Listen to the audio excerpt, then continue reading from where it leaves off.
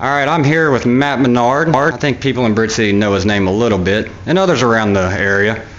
Uh, proud football player, baseball player, but you chose a sport to play in college, and which one is it? It's baseball. And as y'all can see, it's Baylor. Baylor. Uh, a Big 12 school, Matt. That's congratulations. That's got to be a great feeling. Thank you. It, it really is. Um, that's always been a dream of mine. You know, to play play the big names, Texas, Texas A&M, and now that I get to play with Baylor, it's, it's, it's an awesome feeling. It's a dream come true. How, how hard of a decision was it to go from football to baseball? I mean, I know you love football and put your head down and run over people. Right, right. Well, football is always going to be, you know, uh, one of my first loves, and uh, but but baseball, I'm looking for the longevity of, of my career and uh, the longevity of my life, and uh, I just feel like I have a better chance at uh, succeeding in baseball. Now you took a trip to Baylor. When'd you go? And when'd you just? It wasn't. It was a short trip, wasn't it? When you decided. Yeah, yeah. Whenever I got to the campus and I saw everything, I was like, man, this this makes my decision a lot easier. But uh, we went up there Thursday night, stayed the night, and then we were with Coach Thompson with Baylor uh, all day. Uh, we went up there at nine o'clock, didn't get done with it until about five. Uh, he had a lot to show me and a lot to uh, talk uh, talk to me about, so it was really really awesome.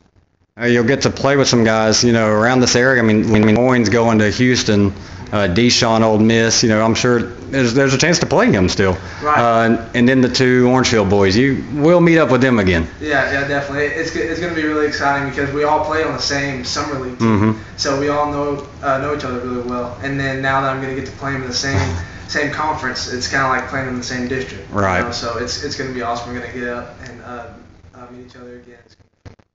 You said your long-term goals. I mean, what are your goals? I guess there's sky's the limit with this, huh? Right, exactly. I'm gonna, you know, uh, take it as, as long as it'll take me. and Play play baseball. Love the game. You know, I'm passionate about it, and we'll just see where it takes me.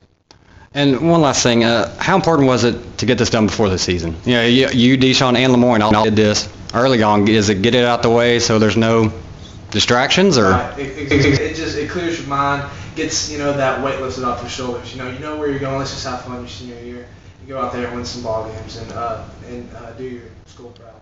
All right, so regional semifinals, what, three years in a row now? Uh, Let's are we stopping there this year, or are, we, are you bringing me to Austin? this- hopefully we can get past that this year and uh, and hopefully make the state game.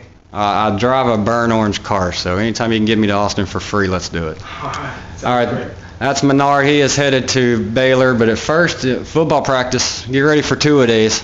I'm sure Coach Stump is going to have you working first. So, Oh, yeah. and uh, big news out of that too, real quick, is Deshaun will play. A lot of people had the question that you know, and so we got a full Cardinals who look to make the playoffs in football three years in a row. Mhm. That's been a while. Years in a row. That's been a long time. So good luck to uh, Matt here in baseball and football this year as they uh, continue to make Bridge City proud.